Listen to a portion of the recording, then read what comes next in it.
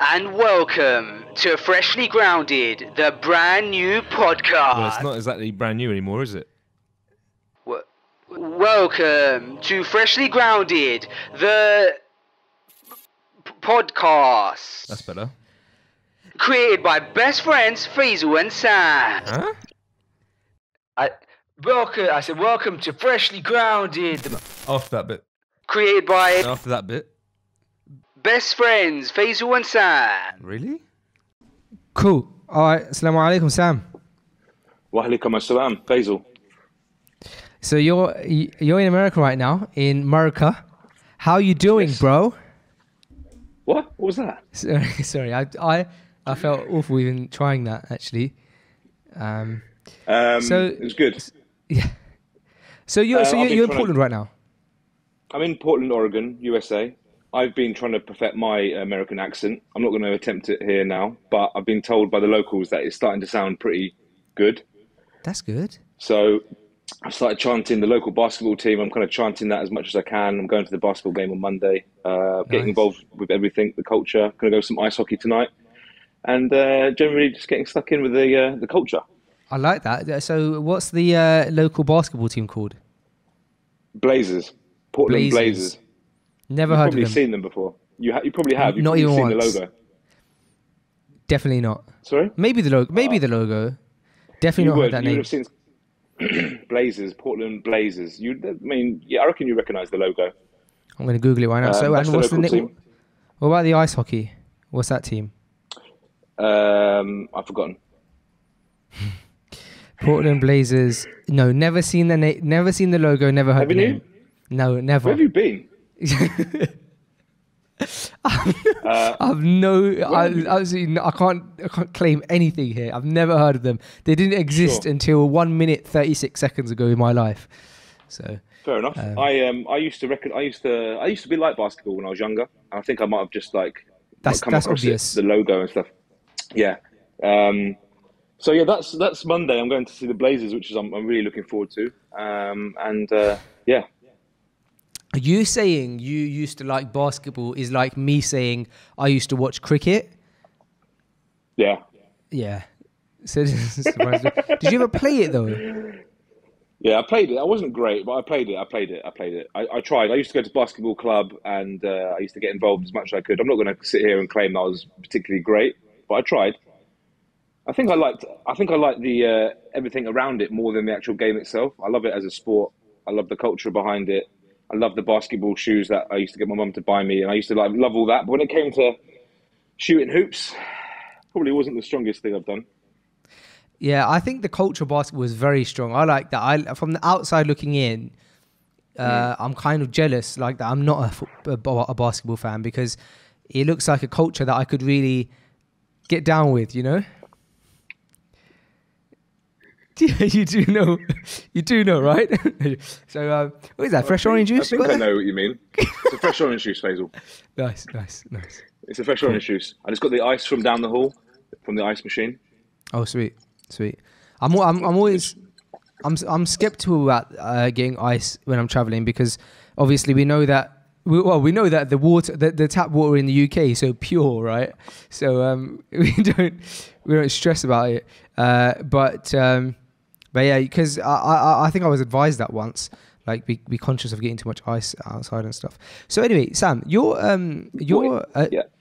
your trip to America this time seems. I know you've been to America a few times. I've never been to America, uh, so I know America as um, as what I see on screen. That's the America that I know, uh, which Yeah. seems cool. Uh, but you've been a few times. However, this time looks like you're uh, arguably um, indulging in the culture and the just the you're enjoying it more from that's from your stories that's what I, that's what I'm inferring from your stories would that be an accurate analysis So I have been to the States a number of times. When I was younger, I was lucky enough to travel to Miami, California. Sorry, California. I did, I did the, the, the West Coast. I did New York. I did lots of different places when I was younger, and it was amazing.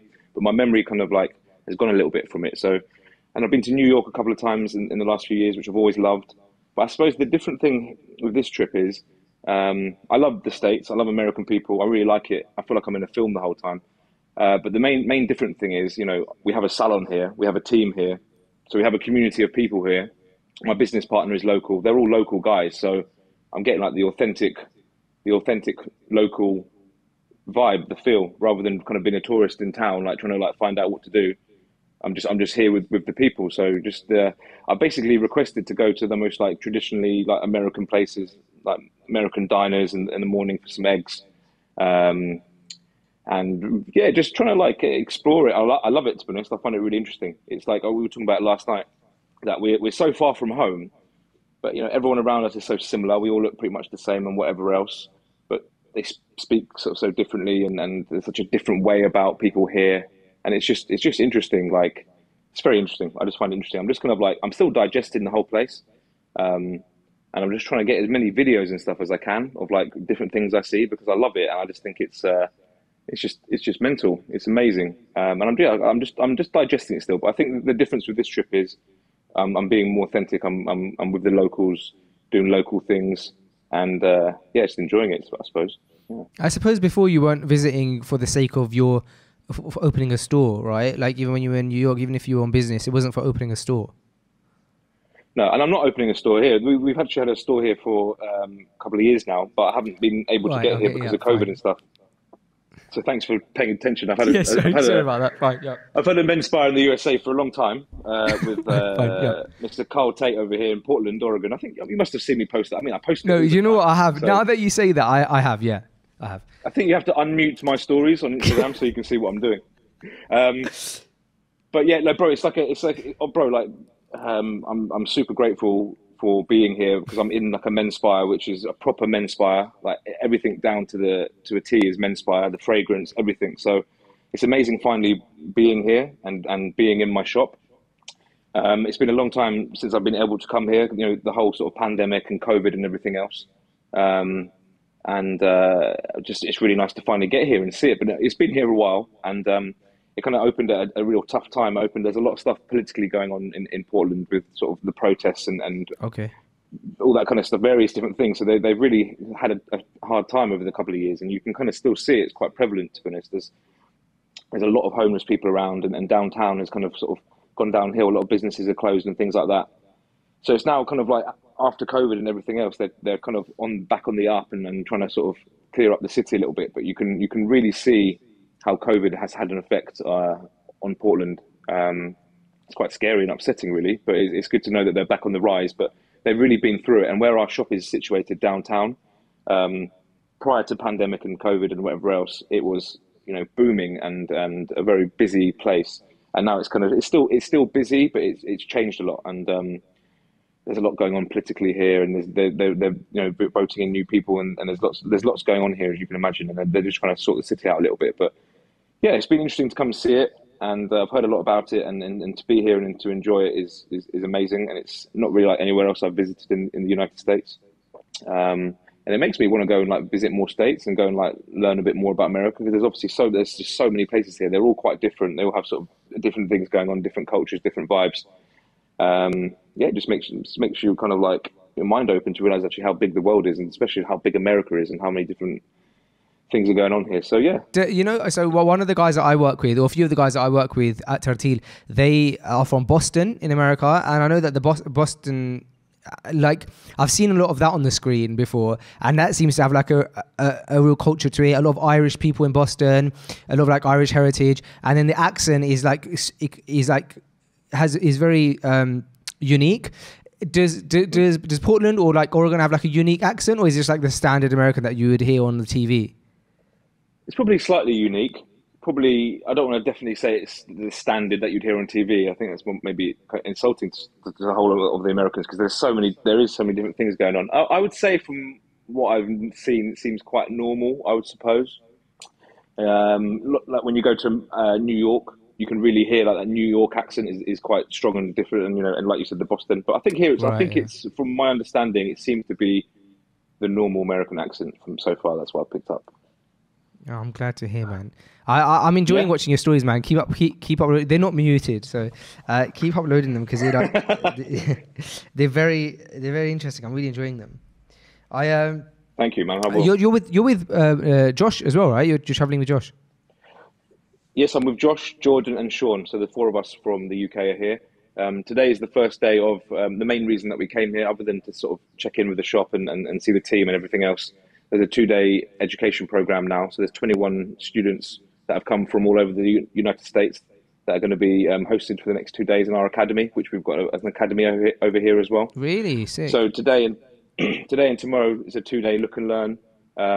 So as soon as I finish this podcast, I'll fly over to the academy where there's going to be lots of people, and it'll be a really good couple of days of of men's spa education led by Are you Josh be and, and? Sean.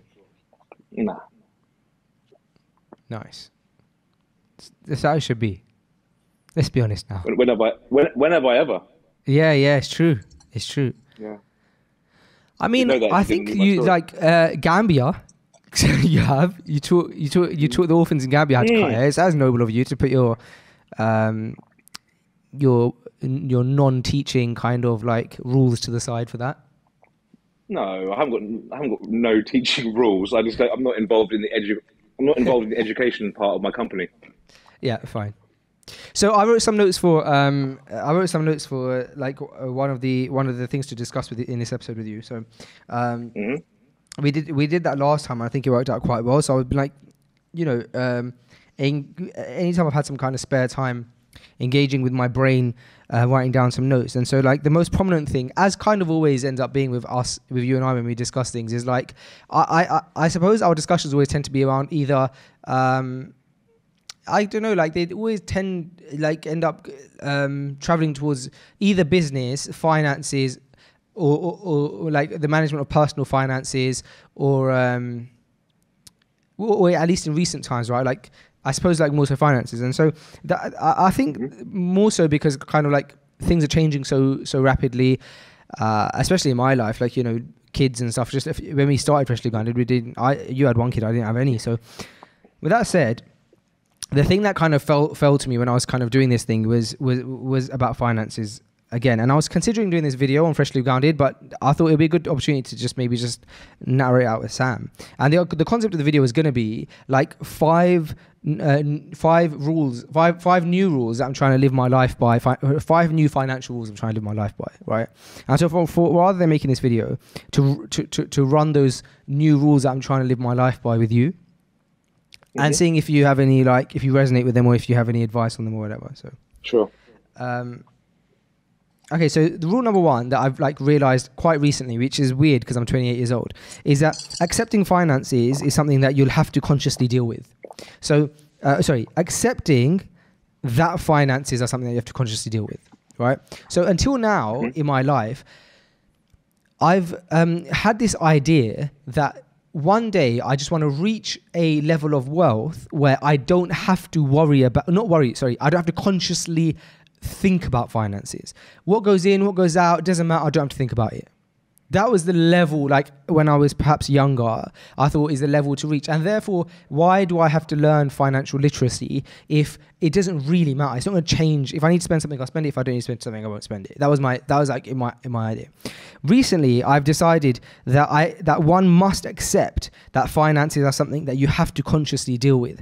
The reason I've come up with uh, that theory now, or that that that rule or myself now, is because of three main things. One, or two of them are things I've already discussed with you. Well, all three are probably things I've discussed with you. So one of them is is that I, through Freshly Grounded, have had the honor of meeting some incredibly wealthy individuals, like people who own business conglomerates to, you know, professional athletes and, and so on and so forth. And I think the beautiful thing about Freshly Grounded is that you end up getting a you, you end up getting more of more conversation out of these these people than a normal person would, because I suppose like the feel and the vibe of FG and of a podcast is quite open and uh, people feel quite open to have these conversations with us. And so sometimes when I've wanted like I've always like asked people for their advice on certain things. Um, and so from that, what I learned is is that the wealthy people, the wealthiest people that we've interviewed, when I've spoken to them about finances, some of the millionaires, um, they they consciously think about money. They're conscious about it. It doesn't mean they're, it doesn't mean that they're great with money. It doesn't mean that they're bad with money, but they are consciously thinking about it. They haven't got to the level, even at multi, multi million millionaires, big businessmen, so on and so forth. They haven't got to the level where they're like, I don't know or care what's happening with my card. They know and they care. And so small decisions, I think I spoke to you about this one before, like um, one very wealthy individual I know, he was taking a flight and this guy I'd assume flies first class every flight. Like it, it, would not be an object for him to not do that. Yet when he um, was traveling one particular short trip, um, it, it, somehow came out in conversation that he, he he traveled economy, and I was like, oh, like why did you travel economy? And he was like, it's such a short trip. Like, why would I spend 10 times the price to travel first class? Like, it's just two hours or whatever. And that made me realize that people, even on that level, are consciously, actively thinking about their wealth, even if they don't, even they could be reckless with it. The second thing that made me uh, create this rule was that, um, obviously, as you know, there was a period of time a few years ago when I was like consuming so much Dave Ramsey content. And one of his rules is um, every pound should have a label on it. And we've discussed this ad nauseam on the podcast. There's that, like, you should never have a piece of, you should never have a pound in your bank account that you don't have a label on. Like, you can't just say, oh, that's generically for if things pop up. No, if it's for things pop up, you put a label on it uh, for that for that for that thing. And the third thing that made me create this rule is what we discussed again on this podcast before, which was that discussion about money systems and about what Ramit Sethi wrote in his book, which was that if you randomly land on ten thousand dollars today, like something comes up, you you forgot, but somebody owes you like loads of money, is ten thousand dollars, is landed in your account today. What do you do with it? Um, he said that most people they'll say, you know, I'd go on a holiday, I would buy this thing, I would like um, whatever, right? But he said that all of those are the wrong answers. The correct answer is is that if I landed on any random piece of money today, it would fall into my money system. So everybody should have a money system, um, and, and, therefore it trickles perfectly into that money system. Like, oh, I, when I get this amount of money, this much goes into there, this much goes into there, this much goes into there. What that alluded to me was that even at his level, um, and he advises very wealthy individuals like Tim Ferriss, for example. Uh, he's actively speaking to them about being conscious about uh, their money. So, rule number one that I'm implementing is accepting that finances are something you'll have to consciously deal with. The sooner you accept that fact, then you can live your life um, starting to accept that finances are something you have to think about actively, regularly. What do you reckon about that?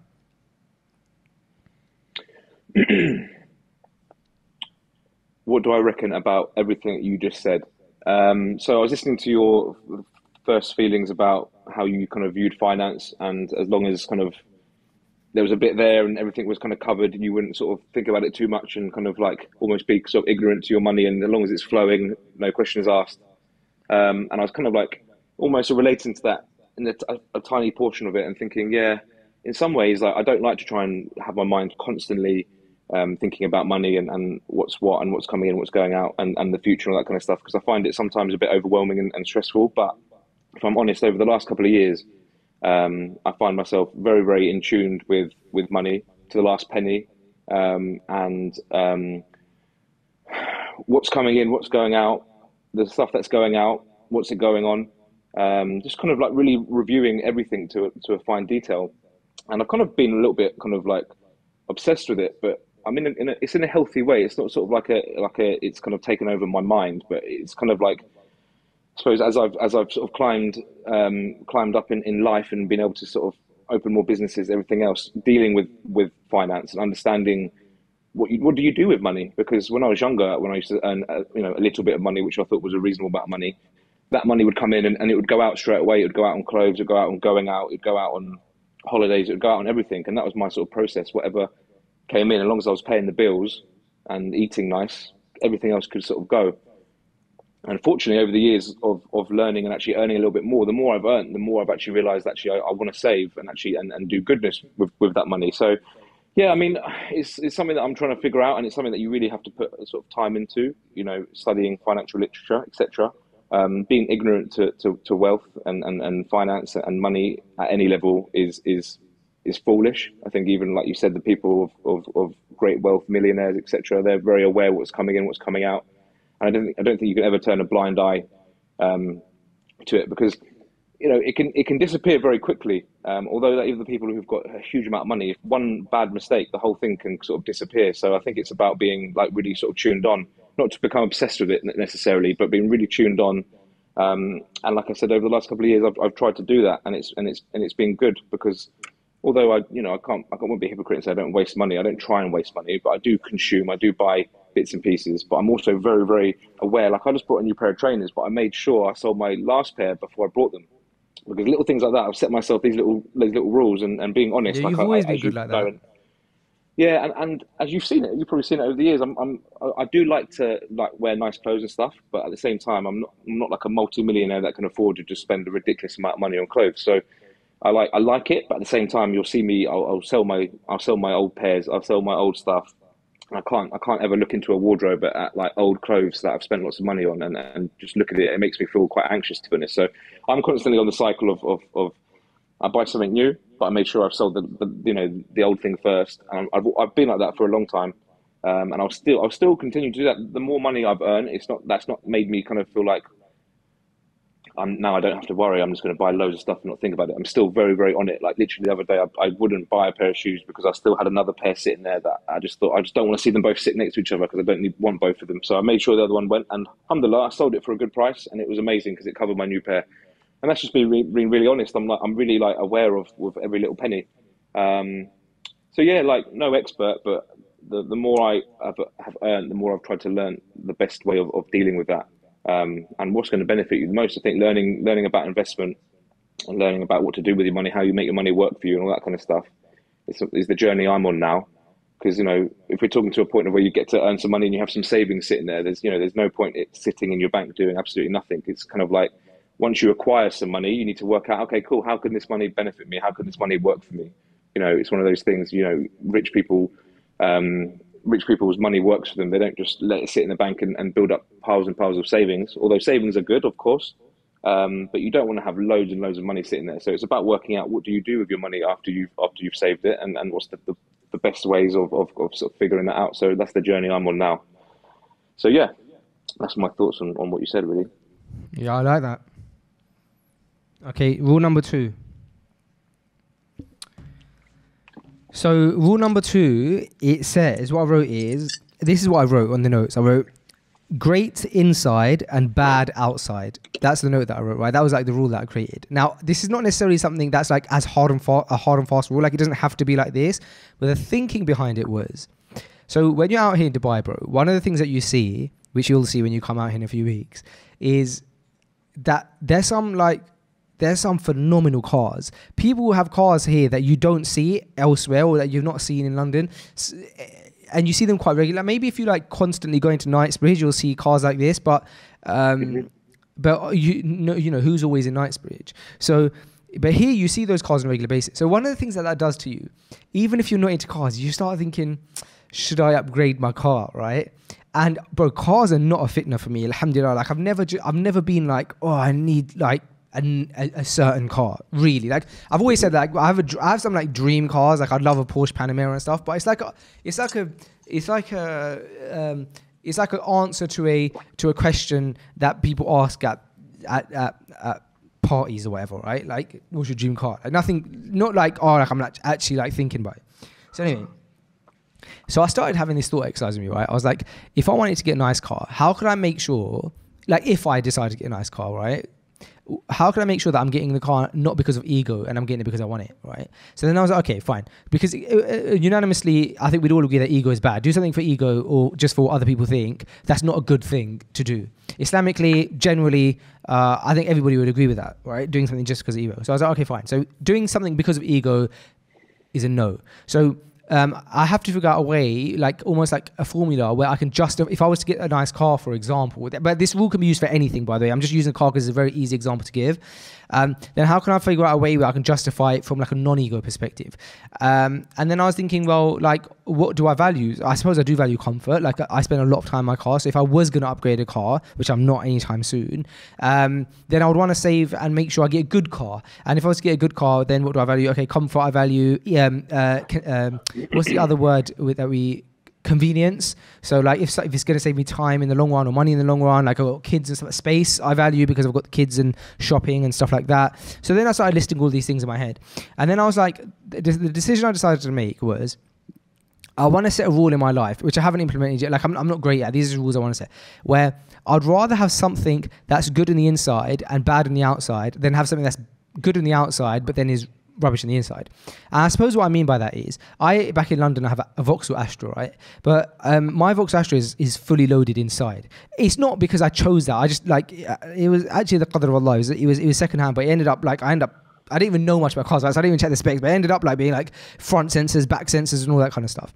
And so I've I love that and I've, I really value that and it's given me a lot of comfort in the in the few years that I was when I was driving it. I was always really happy in my car because it had heated seats and all of that kind of stuff. But on the outside, it's just an Astra. Um, whereas I had friends who would spend two and a half grand, obviously, which is not, not a lot of money for a car. They spend two and a half grand on a BMW, an old BMW, like 2005 Beamer, right? And it's like inside, like it's just it's got it's got nothing because cars in 2005 are 15 years old or whatever. Uh, but they would they would value the fact that they could drive a BMW, and I, that always puzzled me because I was like, well, I actually like have a really smooth running engine, alhamdulillah, and everything like, but I don't drive a Beamer, right? So I was thinking that this rule that I want to set myself is I want to prioritize um, the things that I care about, even if they, uh, even if like, I mean, do you remember on Freshly Grounded years ago I said something like, I have this weird dream of like having a really nice house on the inside, but it looking really ugly on the outside. I've changed my mind on that. Obviously, no one wants an ugly looking house, but the point of that is the sentiment is still true. That I'd rather have a house that inside's got all like the convenience and like the the the, the, the, the secret room with the bookshelf and like the the heated carpets and all that kind of stuff, and it just look mm, rubbish on the outside like a normal house, than for it to be the opposite uh, way. So my rule is that if I'm going to buy something, am I buying it because it looks good and because of ego, or am I buying it because genuinely adds value to my life? And maybe a side benefit of it could be that because I'm buying certain comforts or certain values, it ends up being like something that perhaps you know doesn't look the worst. Yeah, I totally agree. I mean, for the example of the house, I would I would have to say, give me a really tatty looking house, but inside it's levels and it's amazing. Of course, I'd pick that any day. Um, probably with the car as well. For example, if I was going, if I had to get a car I was doing lots of lots of travels, and, and that's what I knew I was getting my car for. I knew I was doing long distance. I knew I'd spend a lot of time in it. I knew that I was doing work from it. I'd probably I'd probably say it doesn't really matter what car it is, as long as it's comfy inside and it, and it drives me from A to B reliably. I'm blessed. That doesn't matter. But going back to what you said about your friends with the BMWs, you know, potentially in their defence and in many people's defence, maybe their dream car is a BMW because let's face it, BMW is up there with a lot of people's dream car, and they would probably be able to look past the fact that inside they're cold, it's crap, it's a bit dirty, it's a bit rusty because they're driving their dream car, and actually it doesn't really matter about the little details inside because they're actually you know, achieving the, their goal of driving their dream car, BMW, and you know, it's ultimately they look past the details mm-hmm. that you know are Yeah, missing from it, and just forgetting not everything. Oh, ego, ego, yeah, that's fine, but when it comes to things like cars, you know, typically people love the aesthetics of a car and a beautiful looking car. And generally speaking, the beautiful looking cars are the you know the branded cars such as BMW, Mercedes, everything else, and, and everything above. Um, so I don't I don't think it's I don't think it's wrong to, to, to want something which is aesthetically beautiful. Allah loves beauty. I think these cars are beautiful. I think you've got it with the intention that you've got it just so someone, just so your neighbour or your friend thinks that you're smashing it and you're the man because you've got the car. That's that's that's that's questionable. But to be able to sort of aim to get something like one of these things I'm saying, these dream cars and whatever else, I think people just do that and they, they look past the fact that it's not quite perfect, but they're actually they get to say they've got a BMW and they've got a BMW keyring, and that's the thing that gives them happiness. They've actually they've got that they've got that they've got that brand. They finally got that brand. So that was my thoughts on on, on what you said there. Yeah, that actually leads. I don't disagree with you. That actually leads me to my third rule, which is um, getting wins from things that aren't a fitna for me. So. Uh, the, the the idea of the, and, and actually it kind of like fits in with rule four, which is like not being too harsh myself for things that are a fitna. So a, a, a like BMW not a fitna for me. Like I'm not like um, I don't. It's not a struggle for me to like accept if I, for example, wasn't to have one. Um, Whereas if it was, then I'll be easy on myself. Like, look, it's not the end of the world. Like it's something that I desire, and it's quite a, it's quite a temptation for me. Um, so and it's not like haram to buy BMW, right? Like Aslan. So um, that that's like the, the kind of the next rule, the rule of like, about fitna. So getting wins over things that aren't a fitna for me. The idea of that is if something's expensive, uh, but like it, it's not like yeah, it's not a fitna for me. Is the best way I can say it. Like just go for the cheaper option. So uh, I was I'm not gonna do it, but I was looking at like gym equipment today because every now and again I look at gym equipment online thinking, well, shall I get home gym stuff? And there was a bar, right? A barbell. And one of them, the difference in the price of, of these two barbells, same barbell, difference in the price was like, I don't know, um, maybe like 50 quid difference. But they were the same, right? Essentially. The difference was the design. And I kind of did like the one, the design of the, of the more expensive one, which was like a camo design. And the other one was like plain black. So I was looking at them. I was like, if I were to get, get one of these, um, I suppose like it's not that big of a fitna for me that like I really want something to be designed nice because I'm the only one going to be using it and stuff like that. So if in those scenarios, I can get an easy win. Um, reversely, if something is a fitna for me, so for example, uh, the example of buying coffees out. So here in Dubai, bro, and I'm, I'm so excited for you to come because I'm going to take you so many of these places. The coffee is a different level. Like it's it, the, it's just stunning when you go to the coffee shops here. I don't know, man. Like I, I, maybe because like there's more of a culture of importing here. So like they if they're gonna import, they just import the best. Whereas I don't know what it is, bro. But go to the independent coffee shops here, and you just have a absolutely stunning cup of coffee every time. The the the the the the opportunity cost of that is that coffees here are not like uh, the the price of coffees in the UK. So I think in UK you could get whole coffee for like three pound, maybe three pound fifty. In uh, in the UAE generally it's like six pounds for a cup of coffee.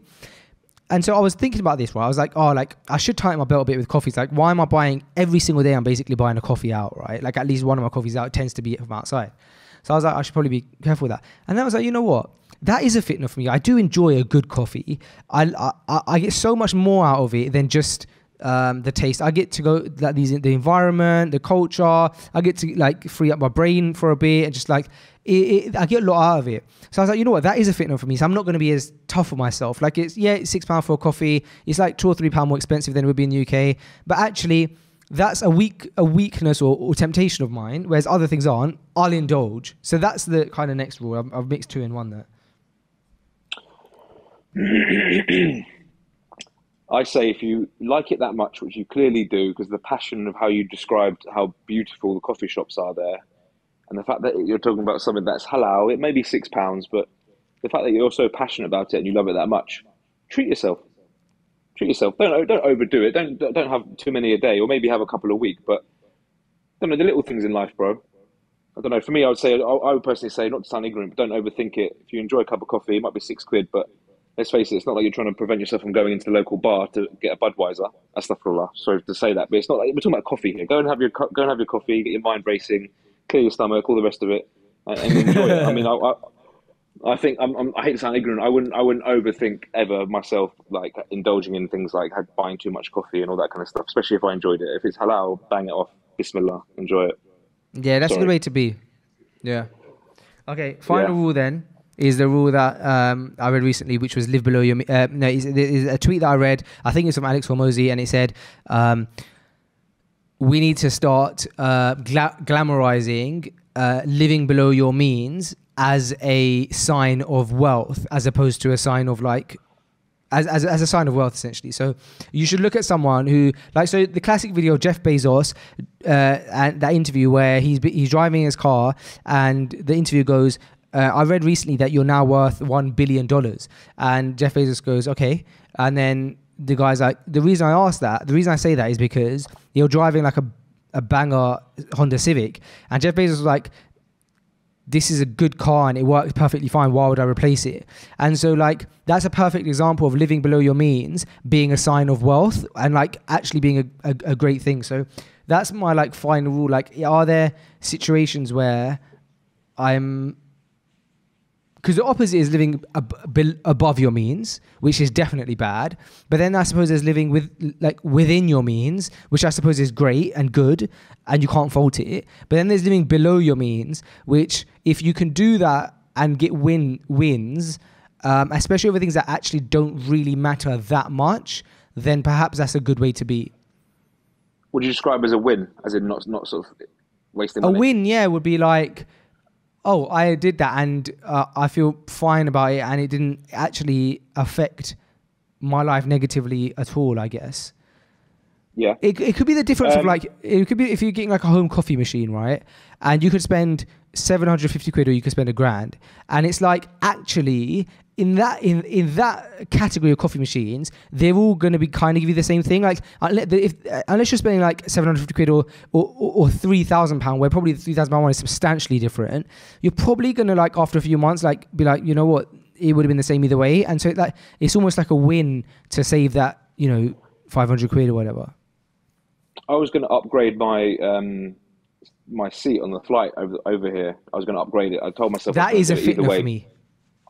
Yeah, as but let me. So the day before, I was trying to get I was trying to get Mahi and whoever to call up and, and, and get the extra legroom sorted out because obviously I'm so tall. As I've spoken to you about it many times, I need do need some extra legroom for a comfortable flight, especially if it's a long flight. I had an 11 hour flight.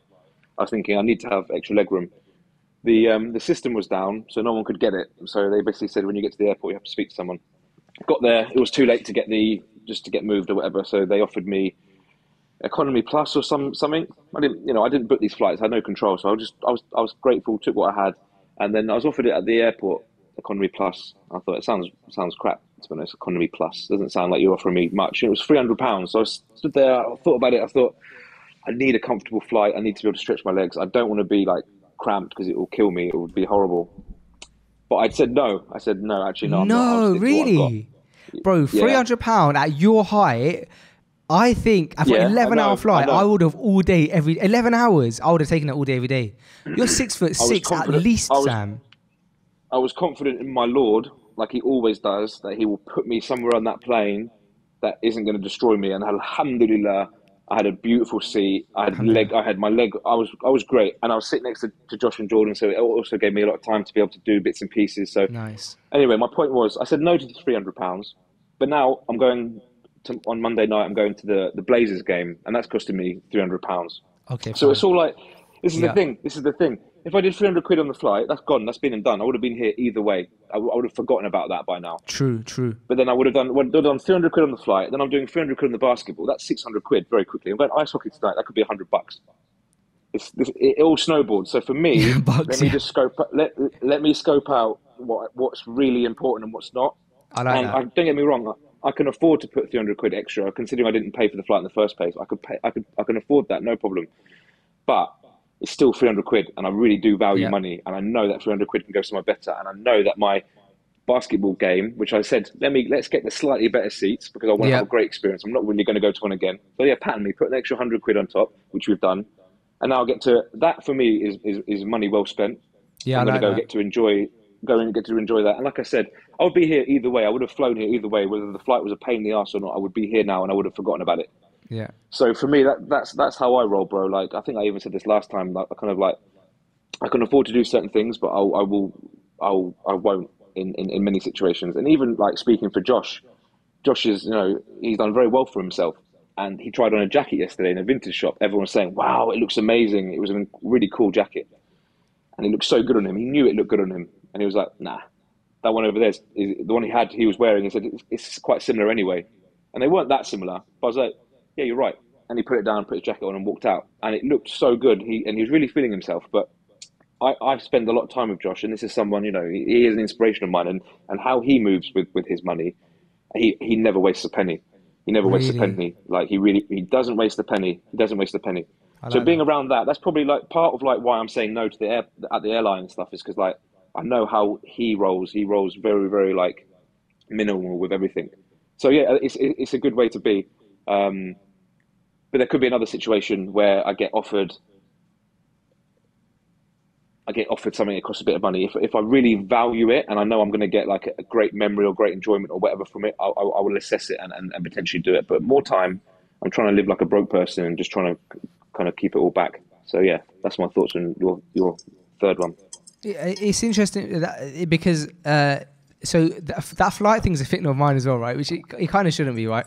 But I like I always, I have like this one rule in my life which I need to like man up with, which is that when I'm traveling, like I, I'm like I go super easy on myself. I'm like don't I don't because I know how stressful traveling can be, especially for me. Like I'm I can be easily irritated when traveling. I'm like whatever ease I can get, I'll take. Right now, I can't afford to upgrade myself to business class, let alone first class, because the difference is like two thousand pounds. It's not a couple hundred quid. Like where anywhere I would generally go, like especially now, it'd be like Dubai to London. Right, the difference is two grand. So that's that's not something that like, I'm going to be able to do. Right. However, one thing that I do do pretty much every time I book a flight is I always pay thirty pound extra to select my seat, and I always select the exit seat with so I can like stretch my legs. And so I was telling my I, I was telling my wife the other day, um, I'd booked a flight, and I said. Um, I said, I, I selected my seat. And she goes, she looked at me, she goes, she goes, you don't need extra leg room. So she said, um, she said, you don't need leg room. And so I, I swallowed my pride because obviously that I was didn't. I didn't hear. I haven't heard. I haven't heard any of what you're saying, bro. I don't know what you're saying. Oh, you're I joking. I don't know what you're saying. Okay. Well, I, so I said, What are you talking about? You heard know. what I said about like I paid the 30 pound extra, right? That's the yeah. Then you cut off. Yeah, so then I, I told my wife I booked a flight the other day, and I told my wife I paid the thirty quid extra to, to select my seat for the extra legroom, and she goes, she turned and she looked at me, she goes, yeah, but you don't need the extra legroom, and I said I had to swallow my pride because that hurt, uh, and then I was like, I guess you're right. Uh, but it's not nice hearing that from your wife. Essentially, she was saying I was sure, which you don't want to kind of hear from your wife. Um, but then I was like, yeah, I guess I didn't really know what to say. I think one of the ways I initially used to justify paying the extra money for the extra legroom is because I used to say, oh, if I need to pray on the flight, then I've got that extra space to pray, which is true. But now I don't know if I'm using that as an excuse because I, I think this particular flight, there's no prayers and I still did it. So, uh, yeah, I, I, I find traveling quite like, I don't love it. And so if I can get myself any ease, like 30 quid, bro, like I know that if I was sitting between two like large men who are like, one time I was sat on this British Airways flight and the guy next to me was just drinking and drinking and drinking and drinking and I just stunk alcohol. At that point, I would have paid a hundred pound, let alone 30 quid. So to get a bit of comfort, 30 quid, like not the end of the world. Even stuff like when I always book, um, like if I'm traveling by myself with my family, I'll always book a car for, for that guy to come and it says Faisal and then like he takes me like I always book that um, and like I'll book car seats and stuff in advance so that if I'm in some foreign country I land there's a guy there with my name me and my kids we're in that person's car it's comfortable they got waters for us he loads the car up with the suitcases he drops me to our location we could take it from there and I arrange all of that when I'm in the UK like in advance or when I'm in Dubai in advance like I, I like so with traveling I am like that but yeah, nothing stupid. Not like two grand, but little things like that, bro. Like, bro, you get a cab from the airport. You're talking, about, you're talking about. You're talking. You're talking about thirty quid. I think that's that's reasonable. Thirty quid Yeah. to be able to uh, pick where you want to go is, is definitely reasonable. Hundred percent. Yeah. What Um. No, I was gonna say like you know you get a cab from an airport, it, it, they they're absurdly priced, so you're paying fifty quid anyway. So for me to pay, pay, pay an extra thirty quid or forty quid on top of that to get like a chauffeur Yeah. to come pick us up, like big car, load everything up, I, I I value that. I just add that to the budget of the holiday or whatever. So Yeah, nice. Yeah, nice. Fair play. I'm Anyway. get that point one day. Yeah. Anyway, Uh, bro, you've got a pickup uh, very soon, so I'll let you go. Thanks, man, for jumping on the pod, even even even though you're in uh, uh, Portland, or Portland. Oregon, Oregon, and yeah. um, and enjoy your Bla- okay. enjoy the Blazers Blazers game, man. thank you. Yeah, I will. I will. I'll let you know how it goes. Keep an eye on the story. Unmute it and watch it. You'll like it. yeah, yeah. Please uh, keep keep us updated, man. I'm, I'm I'm loving that, man. And we'll catch up probably in a couple of weeks in Charlotte. Oh, and obviously you're here in uh, Dubai soon. Which I'm really looking forward to. Yeah. Quick question before you log off uh, for uh, uh, about Dubai, bro. Yeah. Do you have anything booked uh, in the calendar that I can't touch, or can I start booking a few things in? I haven't booked anything. I haven't booked anything. Cool. I'm gonna send you a voice note. One inshallah. thing. One thing you need to do is upgrade my um my uh, chair. Obviously, what we were, what we were just talking about 30 on flight. quid, so yeah. if you could just give me the uh, no the um business one. Um, okay. We'll- so first, I think you, you have control over the whole flights thing. I threw all the details to you, so you could you can edit your booking how you like now. all right, bro. Alright, cool. Enjoy America, bro. Thank you, bro. Nice to Assalamu alaikum.